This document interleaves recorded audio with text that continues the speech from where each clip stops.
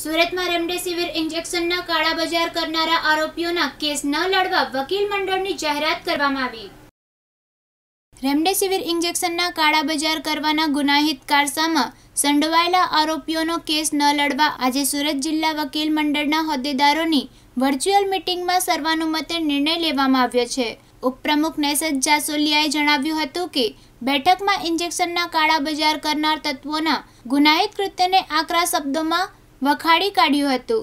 Bar association વકીલ મંડળના હોદ્દેદારોએ corona કાળમાં માનવતા મૂકીને ડુપ્લિકેટ રેમડેસિવિર ઇન્જેક્શન વેચતા કે કાળાબજારી કરી લોકોના સ્વાસ્થ્ય સાથે ચેડા કરનારા તત્વોના કેસને ન લડવા વકીલોને અનુરોધ કર્યો છે. અલબત્ત, આજે જ રેમડેસિવિર ઇન્જેક્શનના કાળાબજારી કરનાર બે અસીલોના જામીન રદ થયા હોય વકીલો બાર એસોસિએશનના ઠરાવનું કેટલા હદે પાલન કરે છે તે જોવું રહ્યું. બાર એસોસિએશનની ઓનલાઈન બેઠકમાં સર્વાનુમતે નિર્ણય બાદ વકીલોને ઠરાવનો અમલ કરવા અનુરોધ કરાયો છે. મારું નામ બ્રિજેશ પટેલ છે. હું સુરત ડિસ્ટ્રિક્ટ બાર એસોસિએશનનો પ્રેસિડેન્ટ છું. હાલમાં કોરોનાનું જે પ્રમાણે સંક્રમણ ચાલી રહ્યું છે, તે જોતાં ગુજરાત રાજ્યમાં ઘણા બધા દર્દીઓ કોરોનાથી સંક્રમિત થઈ રહ્યા છે અને ઘણાની પરિસ્થિતિ ક્રિટિકલ થઈ રહી છે.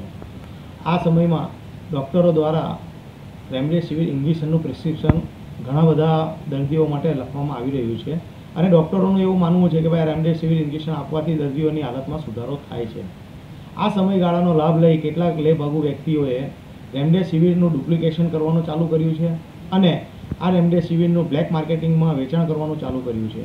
હાલમાં જ્યારે લોકો પોતાનો જીવ બચાવવાની વાત કરી રહ્યા હોય, ત્યારે આ જે પ્રમાણેનું જે કૃત્ય કરવામાં આવી રહ્યું છે ઘણા વ્યક્તિઓ દ્વારા, તે ઘણું ખોટું અને ઘૃણાસ્પદ કૃત્ય છે. આનાથી સમાજમાં એક ખોટી અસર પડી રહી છે. અને આવા લેભાગુ વ્યક્તિઓને કડકમાં કડક સજા થવી જોઈએ એવું અમારું પ્રા- પ્રા- પ્રાથમિકપણે માનવું પણ છે. પરંતુ આ સમયગાળા દરમિયાન અમે સુરત ડિસ્ટ્રિક્ટ બાર એસોસિએશન પણ જે વ્યક્તિઓ હાલમાં કોરોનાથી સંક્રમિત થઈ રહ્યા છે, એ લોકોની સાથે રહેવાનું અમોએ નક્કી કર્યું છે.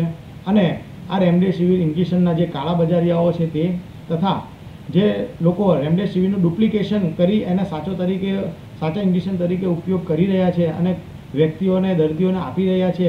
જેના કારણે ઘણા દર્દીઓ કદાચ આવા ડુપ્લિકેશન ઇન્જેક્શનથી મરણ પામે તેવી શક્યતાઓ પણ રહી છે.